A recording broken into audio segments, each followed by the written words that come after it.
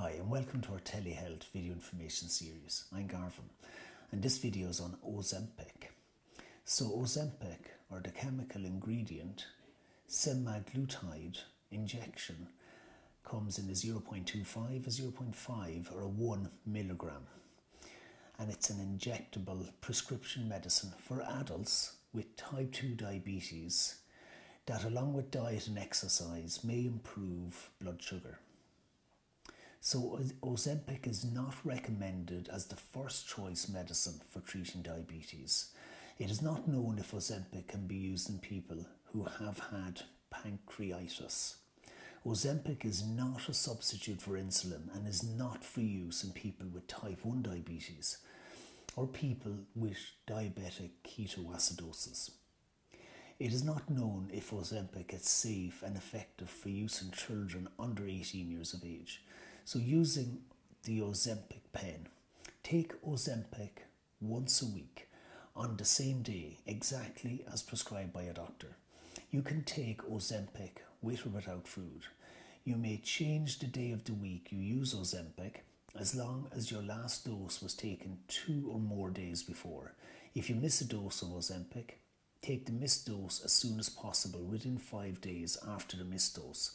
If more than five days have passed, skip the missed dose and take your next dose on the regular scheduled day using the pen. So, Ozempic is injected under the skin of your abdomen, thigh, or upper arm. Do not inject into a muscle or vein. Change or rotate your injection site with each injection. Do not use the same site for each injection. If you choose to inject in the same area, always use a different spot in that area. So, important safety information about Ozempic. Do not share your Ozempic pen with other people, even if the needle has been changed. You may give other people a serious infection or get a serious infection from them. Ozempic side effects so, possible thyroid tumours, including cancer. So, tell your healthcare provider if you get a lump or swelling in your neck, hoarseness, trouble swallowing, or a shortness of breath. These may be symptoms of thyroid cancer. Do not use Ozempic if you or any of your family have ever had MTC or if you have an endocrine system condition called multiple endocrine neoplasia syndrome type 2. Do not use Ozempic if you or any of your family have ever had MTC or MEN2. You're allergic to Ozempic or any of the ingredients in Ozempic. So before using Ozempic, tell your healthcare provider if you have any other medical conditions, including you have or have had problems with your pancreas or kidneys, have a history of diabetic retinopathy are pregnant or breastfeeding, or plan to become pregnant or breastfeed. It is not known if Ozempic will harm an unborn baby or passes into breast milk. You should stop using Ozempic two months before you plan to become pregnant. So, what are the possible side effects of Ozempic? Inflammation of your pancreas. So, stop using Ozempic and call your healthcare provider right away if you have severe pain in your stomach area that will not go away with without vomiting. You may feel the pain from your abdomen to your back. Also, side effects would be changes in vision, low blood sugar, or hypoglycemia.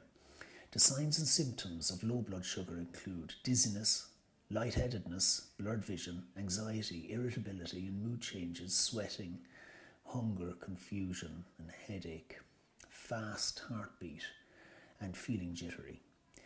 So, kidney problems also be side effects. In people who have kidney problems, diarrhea, nausea, and vomiting may cause a loss of fluids, which may cause kidney problems to get worse. It is important for you to drink fluids to help reduce your chances of dehydration. Also, side effects would be serious allergic reactions. Stop using Ozempic and get medical advice immediately if you have symptoms of an allergic reaction, including itch, rash, or difficulty breathing. The most common side effects of Ozempic may include nausea, vomiting, diarrhea, and stomach pain and constipation. So, the recommended dosage you start Ozempic with 0.25 milligram subcutaneous injection once weekly for four weeks. The 0.25 milligram dose is intended for treatment initiation and is not effective for glycemic control. After four weeks on the 0.25 milligram dose, increase the dose to 0.5 milligram once weekly. If additional glycemic control is needed after at least four weeks on the 0.5 milligram dose, the dosage may be increased to 1 milligram once weekly. The maximum recommended dosage is 1 milligram once weekly. Administer Ozempic once weekly on the same day each week at any time of the day with or without meals. The day of weekly administration can be changed if necessary as long as the time between the two doses is at least two days or more than 48 hours.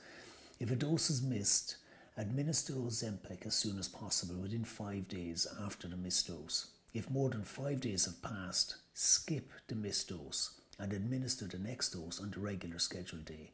In each case, patients can then resume their regular once weekly dosing schedule. So that brings this telehealth video to an end. If you have any questions, you can leave them in the comments below or contact me through the website mytelehealth.info or call into us, Lynch's Pharmacy, Douglas, Cork, or you can ring 021 436 6923 to find out more. Thank you for watching. Stay healthy and stay informed.